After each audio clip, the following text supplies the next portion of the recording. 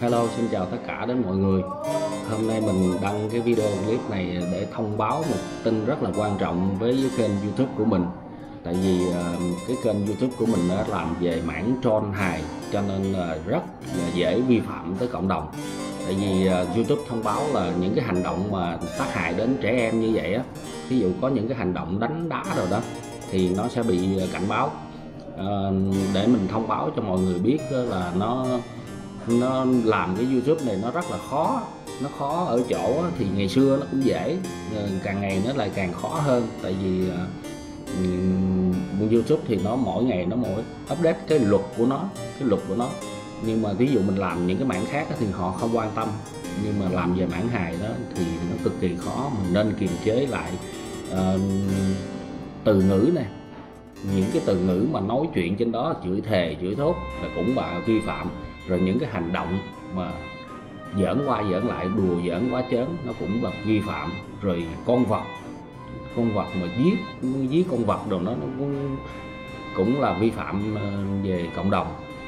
Cho nên hôm nay mình làm video clip này mình thông báo một tin rất là quan trọng. Có thể có thể là từ đây về sau là, mình ờ, cái kênh này mình khó mà đăng lại những video clip như vậy. Mình không biết trước được không biết trước được nhưng mà chỉ là mới cảnh báo thôi cảnh báo thôi. À, thường thường á, những người làm youtube thì biết à, có ba gậy quyền lực ba gậy quyền lực của youtube. Thì à, gậy thứ nhất là nó có thể nó đăng nó cấm mình đăng một tuần. À, gậy thứ hai có thể cấm đăng mình một tháng và gậy thứ ba là nó tắt kênh mình vĩnh viễn. Cho nên à, hôm nay mình chỉ bị cảnh báo là một gậy cộng đồng gậy thứ nhất thôi. À, có thể là um, à, thôi. À, mình sẽ lập một cái kênh mới. Là mình có để cái đường link đường mô tả ở dưới đường link ở dưới phần mô tả. À, mọi người à, nếu mà thật sự yêu thích cái cách à, cái cách của mình đưa những cái tiểu phẩm hài tới cho mọi người xem mà vui á thì mọi người qua cái kênh à, phụ để mà mọi người bấm theo dõi ủng hộ. Nếu mà thích anh em mình thì ủng hộ anh em mình để anh em mình tiếp tục Ờ, làm những cái clip hài cho mọi người xem.